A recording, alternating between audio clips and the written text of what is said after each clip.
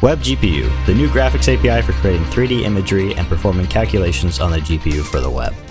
It adds support for modern GPU features and more advanced faster rendering capabilities.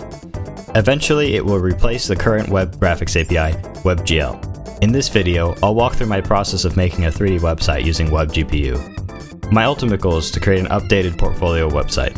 I want to make something that stands out, and as someone who loves working with 3D graphics, what better way than to use the shiny new graphics API? When it comes to making a 3D website, there is no standard or expectations like with regular 2D websites. Those websites generally have a center section, a header, a footer, and maybe a side panel. In fact, if one is making a 3D website, that is an indication that you're already going above and beyond to be creative, since everything you need to display information is already present in regular websites. Because of this, I don't expect any kind of 3D website layout standards anytime soon, so I'm going to have to think outside the box. I wasn't sure where to start, so I decided to get some inspiration from some already existing 3D websites. Next, I'll highlight a few of my favorites. Starting off with Choo Choo World. I mostly just love the look of this one. I love the attention to detail and the fun, brightly colored environment full of happy dancing trees. Not that the trains are relevant to what I'm on the lookout for, but I like them too. Another, Pilot.auto, has a scroll to move feature where every time you scroll, the camera angle changes and the text updates. This works really well in my opinion, and I considered doing something like this. In the Quarry House, you scroll to move, click and drag to look around, and can click on objects to move towards them. I really like this because it takes advantage of the 3D space to allow the user to interact with the environment in a non-linear manner, while still keeping the user on a linear path if they're unsure where to go next. In Magical Reflections, the environment is beautiful, being able to scroll to move, click and drag to look around, and clicking on paintings to see their descriptions is amazing. This site layout is pretty similar to what I decided to go with. The links to all these websites will be in the description. Key to a 3D website is an impactful experience that sticks in people's minds. That means the 3D environment is the number one priority. I really wanted to evoke a unique feeling for the environment. I wanted it to stick out and be memorable, something that resonates with people in a way they aren't expecting. I did some research and gave it some thought, and I decided to go with something inspired by things I've loved from other 3D environments to create a colorful yet atmospheric world.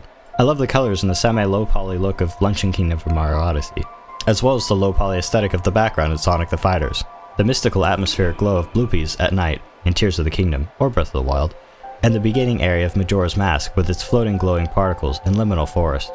With all that in mind, I began working on creating the website. But before I could start making 3D art, I needed to get coding.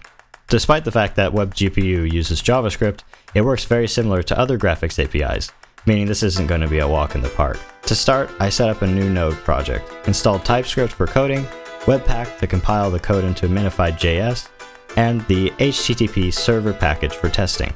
I also installed WebGPU types for TypeScript, so I could use TypeScript with WebGPU. Once I had all my packages installed, I opened the project in Visual Studio Code and got to work.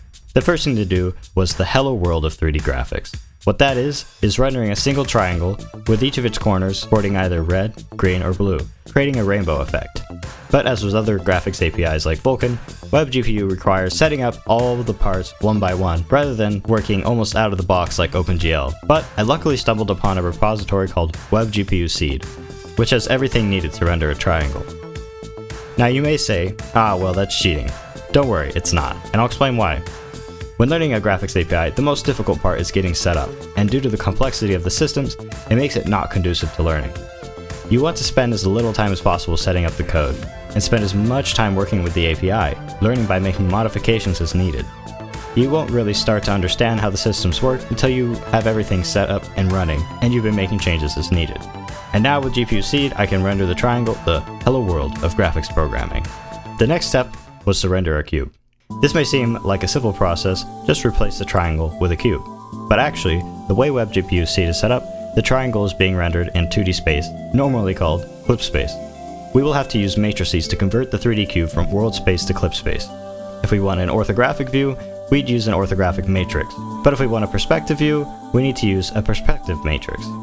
I'll need to generate these view matrices using specialized functions, and then multiply the cube's vertices by the resulting matrix to get the 2D representation you see on the screen. I can either make my own functions to generate matrices, or I can use a pre-existing library.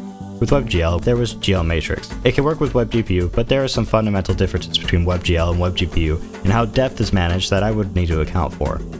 Thankfully, however, with some searching I was able to find WGPU Matrix. It's a fantastic library that contains just about everything needed for matrices in WebGPU. After some effort working with the libraries and the code, I got matrices working, giving me the power to do all kinds of things including moving the camera, moving objects in 3D space. Here I have a cube moving up and down and while the camera is spinning around it. The next step, lighting. For testing purposes, I reused my Lambertian shader. If you don't know what Lambertian shading is, I'm planning on making a video on it in the future, but for now just know that it is a very simple way to simulate lighting. Using the shader was not as simple as just bringing it into the project. I had to convert it from GLSL to WebGPU's shading language, or WGSL for short. After getting the shader working, it was clear the cube's normals were completely messed up. In case you don't know what normals are, put simply, they're a representation of the direction a surface is facing. Having this information is important when calculating lighting, because it is used to determine how much light hit the surface. I fixed the normals, and now you can see the lighting on the spinning cube. After that came quite the doozy, importing meshes. First I had to select a file type to use. There were a couple different contenders, like OBJ or FBX, but in the end I decided to go with GLTF. GLTF was designed to be a general use case 3D file particularly for WebGL, making it the natural choice since WebGPU has no file type designated for it yet, or at least at the time of making this video. One thing WebGPU has over WebGL are render bundles.